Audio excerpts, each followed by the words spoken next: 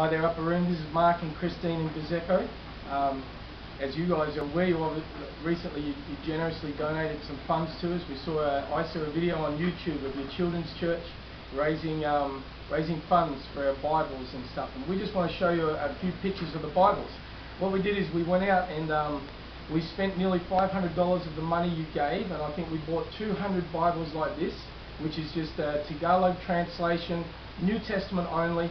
Uh, these are predominantly for use in church. We've found in the past if we give Bibles away to people, they simply disappear and you never see them again. So we have now plastic containers filled with Bibles in all four of our churches. People come to church, they collect the Bible, they give it back at the end of the day. And then what we do is when people get baptised, they get one of these that is their own, gets written in it, little signature on the front and stuff. And in the last four weeks, we've had 15 people baptised, so 15 people have received their own Bible. We also bought a few different types of Bibles as well for our leaders. This is a Tagalog English version of the New Testament.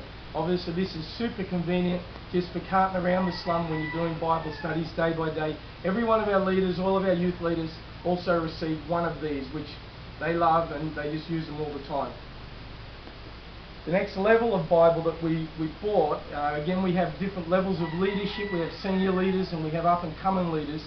This is called a Poimen Study Bible, which is completely a, a completely Tagalog New and Old Testament, and this is sort of for our up and coming leaders. So predominantly our youth leaders, they received one of these. It came in a cover, um, and this is an excellent study Bible. They, they love this. This has already been well used. I, I think we, we gave 10 of these ones away to some of our leaders. We have a couple more left here. But then the prize, the one that everyone was hanging out for, is the, the day we went to the Bible Society to the day we went to the Bible Society to check the prices and availabilities of the other Bible. This particular Bible, which there is very few genuine study Bibles that are available in Tagalog. This is a very, very comprehensive study Bible, probably equal to say the NIV study Bible or, or any of the other New Life study Bibles. This went to all of our senior leaders. So, so our Pastor Maravik, um, our, our main youth leaders, we gave away 10 of these. And these are a great blessing. When we bought these, these were on 50% discount. They weren't initially in the original plan, but we saw them and we thought we can't pass that by. So uh, thank you so much. You, you put a lot of Bibles into our churches. You put a lot of Bibles into the hands of our leaders and our youth leaders.